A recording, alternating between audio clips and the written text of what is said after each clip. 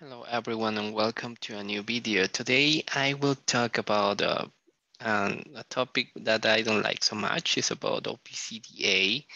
And I don't like so much OPCDA because we have better options right now. We have OPCUA and OPCUA is really nice. It's fantastic. It's uh, very compatible with the modern networks, with the with our modern way to do things, with cybersecurity, etc. OPCDA uh, is a very legacy, very old, um, but it's still very popular. And that's interesting that this is still very popular, but um, and it, that's the reality uh, 2022. Um, so uh, what I will show you is how you can connect two stations. One station will be the OPCDA server and the other station will be the OPCDA client. And of, of course, these stations will be different computers on a network. Uh, so you can know how you can use the AVEVA Edge OPCDA server to connect with it uh, from a remote computer. And the remote computer will be using also AVEVA Edge uh, as, a OPC, as an OPCDA client. Uh, it's not an unusual architecture to use OPCDA to link AVEVA Edge on two computers, but uh, let's, I, I, will use AVEVA Edge. You can use any other software as a client. Uh, that's the idea. Uh, but I will use AVEVA Edge just for demonstrative, demonstrate, just for demonstration. So uh, let's start. So I have my two virtual machines here. Uh, I should tell you that uh, this virtual machine is a clone of this. So uh, right now both have the same uh, computer name. For OPC communications, it's important that you cannot have or you you don't have uh, two computers with the same uh, name. So let me double check here. That's the name here for this computer. Uh, for this one,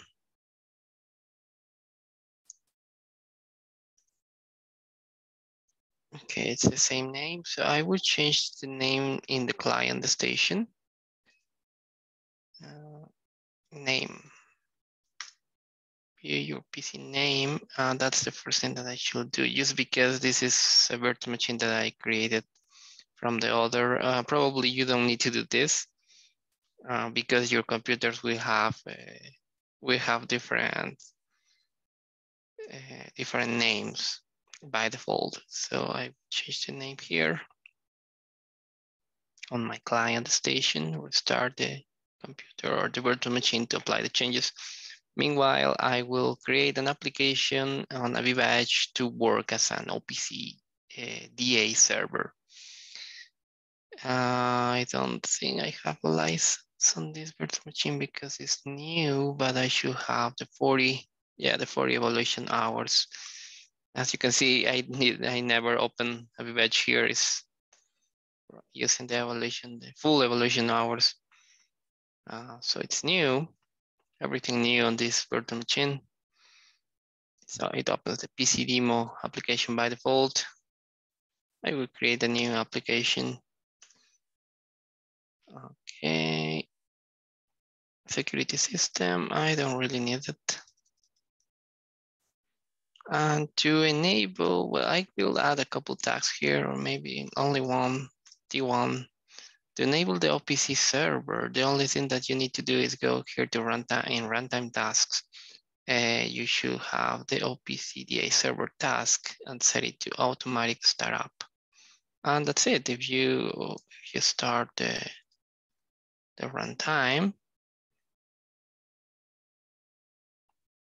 Oh, by the way, uh, I don't like the firewall. Turn it on when you are going to work with OPC. You can basically cre create a, a, rule to allow incoming and out, outgoing communications on a very specific port, but for uh, demonstrative purposes, I will turn off the firewall because I don't want to create the rules that will make the video, that will, that, that will make the video to be longer. So I will basically will turn off the firewall here. Um, before I forget about that. I will, I will also disable the firewall on the client station. And that's important because if you have the firewall with a restriction of the port that the OPC DA uses, it won't, it won't work and you need the firewall uh, rules on both computers. That's interesting. Uh, you need the same rules on both, but I will disable both firewalls just to make it simple. Okay, so I start the, the runtime and the OPC server starts. Uh, of course, if I connect with my client station, which is here, and I will start now to create a new project. This should have the 40 hours also, okay.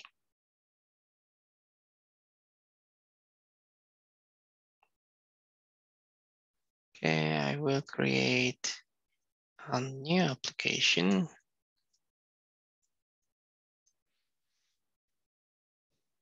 Security system. I don't need it. And uh, the OPC DA client, I will use a legacy one because it's easier to configure.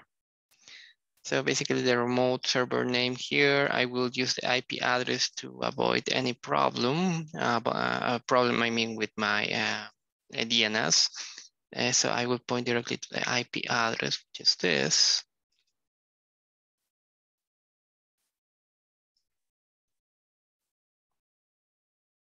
And if I click here in server identifier, it should show me the servers uh, here on the on the remote computer and I will select one.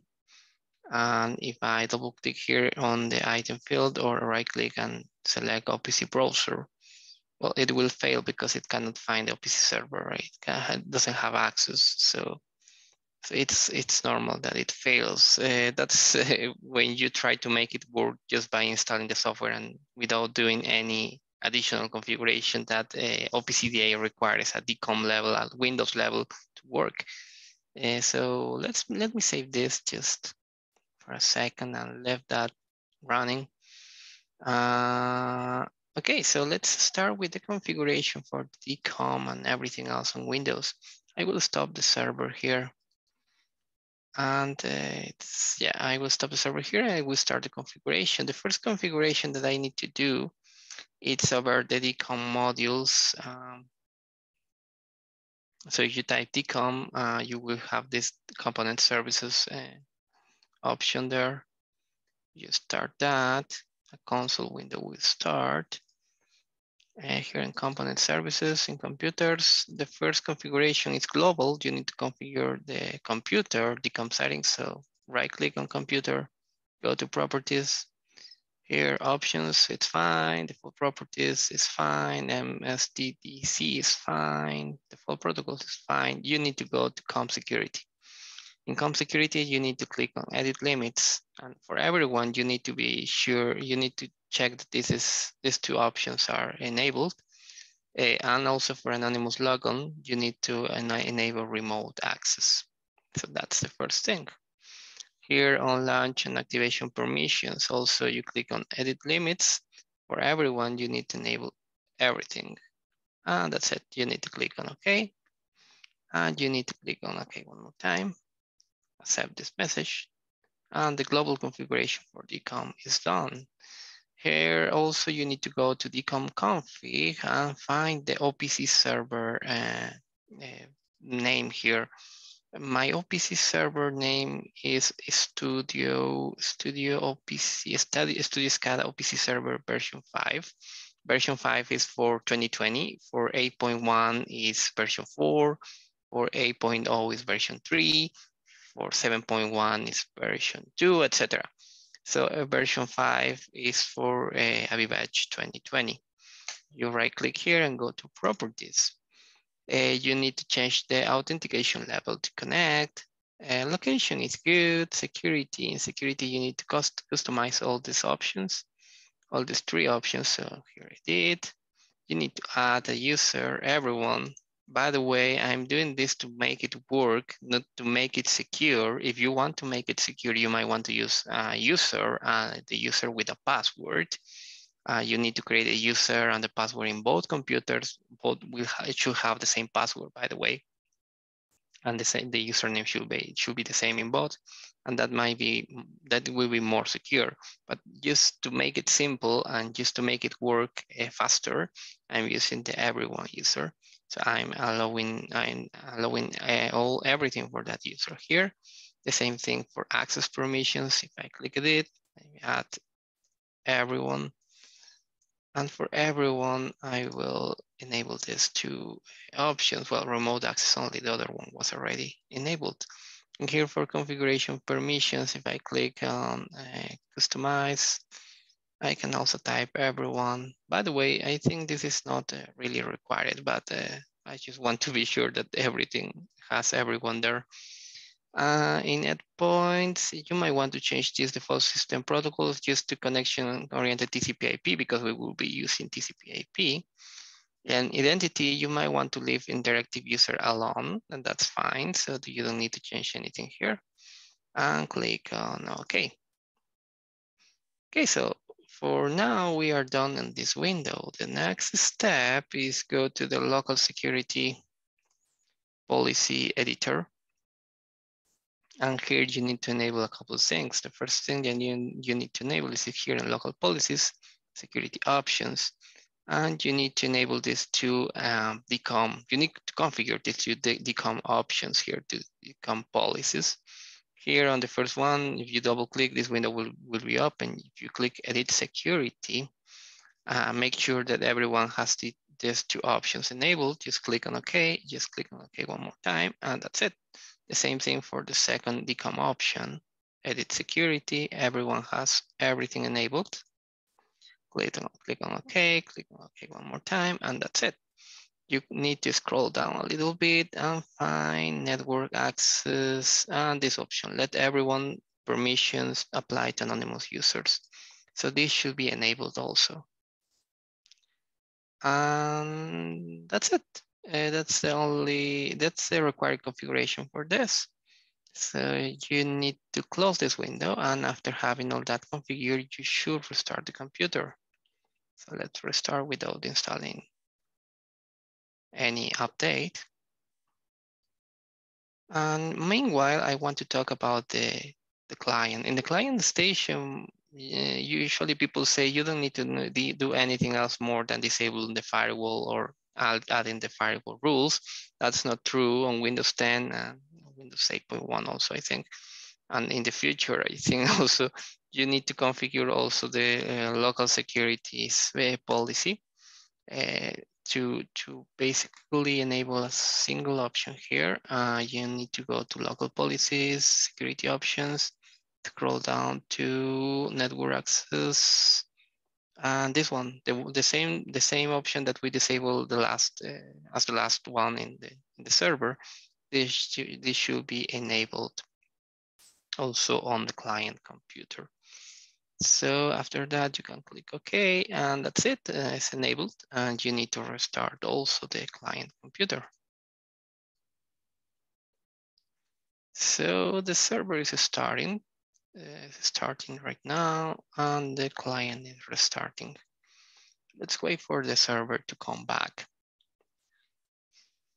It's back, so the only thing that I need to do now is to start my AVEVA Edge Studio so my runtime can be started with the OPCDA server. Yeah, evaluation, that's fine.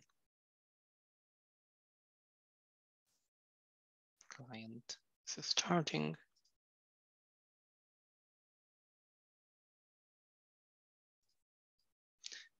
I will start the OPC server.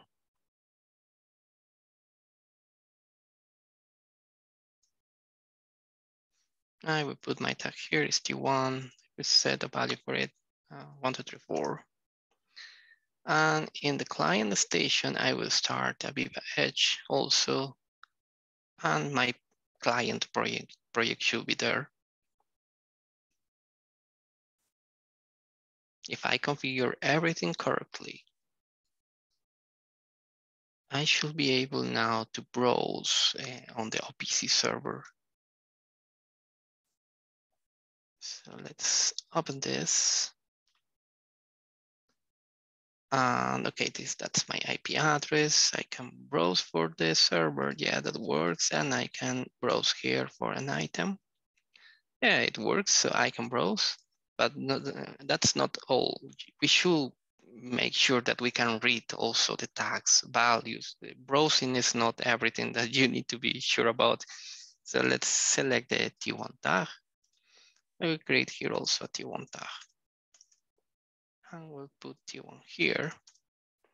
And I will enable the uh, OPCDA 2.05 uh, messages and just to see what's happening, right? It's not mandatory. It's I just want to enable it to see what's going on. So yeah, you can see here, uh, we have the one, two, three, four value. We can even change it and the value should be updated here. Uh, we can also read uh, from the from the uh, server uh, some system tags. So let's say the second tag, and this should be changing all the time. So T2, uh, yeah, the second tag is changing. This comes this is coming from the from the OPC server. You can see here. So it works. Uh, as you can see from the scratch, we have configured both server and client to uh, communicate using OPCDA Classic. Um, one more time, if you have the option to use something different than OPCDA, I really recommend you go through that way. OPCUA is very nice. But if you don't have any other option and you really need to use OPCDA, I hope this video might be or will be useful for you. If you have any questions or any comments, please leave this in the comment section below. Thank you for watching.